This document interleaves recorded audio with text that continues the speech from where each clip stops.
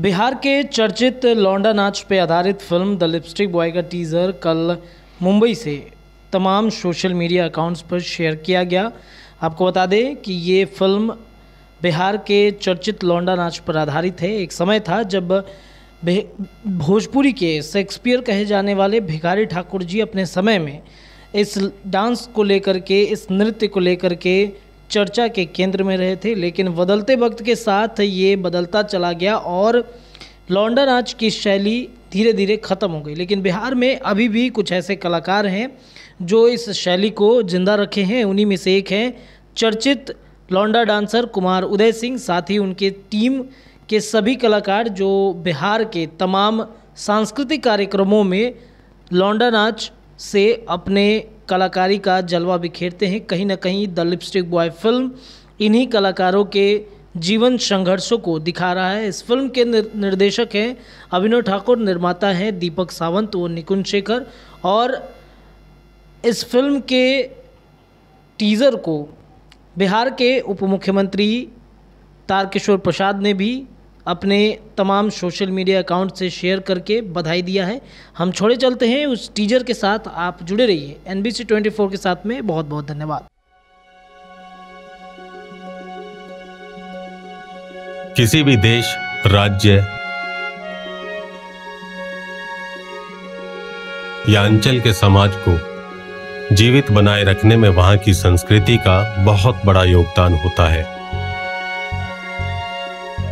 जिनमें साहित्य और नाटक प्रमुख हैं। भारत में हर प्रदेश में नृत्य एवं नाटक की एक अलग शैली है, जिनमें भिखारी ठाकुर का योगदान अतुलनीय है। उन्होंने लोकनाट्य शैली को जीवंतता प्रदान की और उत्तर एवं पूर्व में लोकप्रिय बनाया। उन्हें भोजपुरी का शेक्सपियर तक कहा गया। उनके समय में पर्दा प्रथा के कारण लड़कियाँ या महिलाएँ मंच पर नहीं आती थीं। इसलिए भिखारी ठाकुर जी ने पूर्व की परंपरा के अनुसार लड़कों को ही महिलाओं की भूमिका दी। लड़के ही नाटकों में महिला पात्रों की भूमिका निभाते थे तथा नृत्य एवं गायन से दर्शकों का मनोरंजन भी करते थे। उस समय ये शैली लौंडा शैली के रूप में प्रचलित हुई। कालांतर में सिनेमा की चकाचौंध ने अधिकांश नाट्य शैली को धूमिल सा कर दिया। अंततः अति लोकप्रिय लौंडा शैली मृतप्राय हो गई। ऐसे में लौंडा नृत्य के कलाकारों के सामने बेरोजगारी और भुखमरी की स्थिति उत्पन्न हो गई।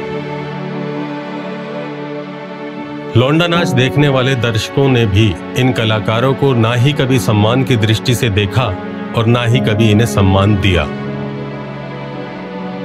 जिससे ये कलाकार एक शून्य में समाते चले गए। इनकी पीड़ा किसी समाज ने नहीं समझी, और ये सिर्फ़ हँसी का पात्र बनकर रह गए।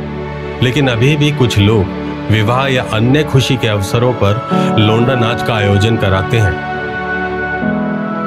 इस फ़िल्म के माध्यम से लोकप्रिय लौंडा नाच के कलाकारों की जीवन शैली आंतरिक पीड़ा एवं विवशता दिखाने का हमारा एक छोटा सा प्रयास है।